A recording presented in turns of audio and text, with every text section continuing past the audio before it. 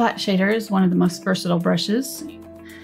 They come in several different sizes and you can use them for all kinds of different things. They have a nice crisp flat edge.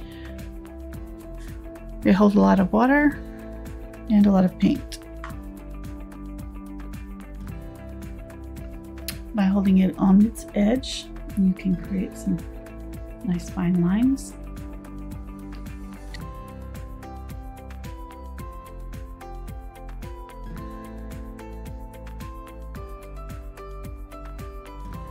You'll press that brush flat when you load it, you get a nice fine line, create very sharp edges.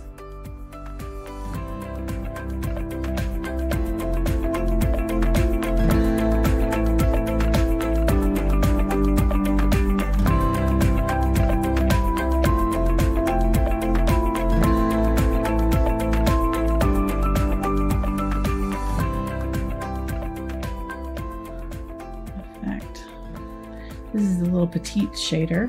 It's got a very thick handle, so it's a lot easier to use, but it's got a very, very small flat edge. Long bristles, so it acts almost like a round brush. It's flat on one side, got very long tip. So I'm gonna create these little star-shaped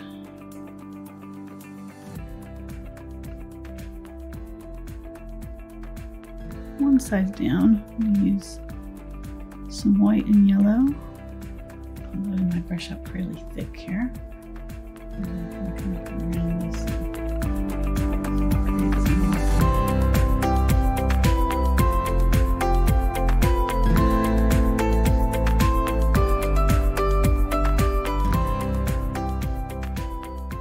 These brushes are also really good for washes, so after we let this dry a little bit, you can do a glaze over the top, wash some color.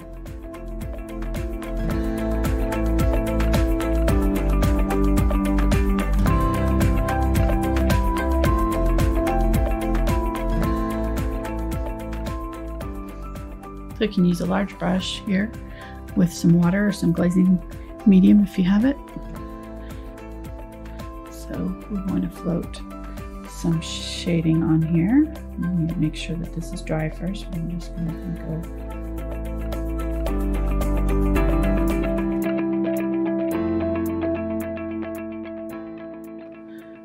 These flat brushes make it a lot of fun. Very easy to use to get all kinds of different kinds of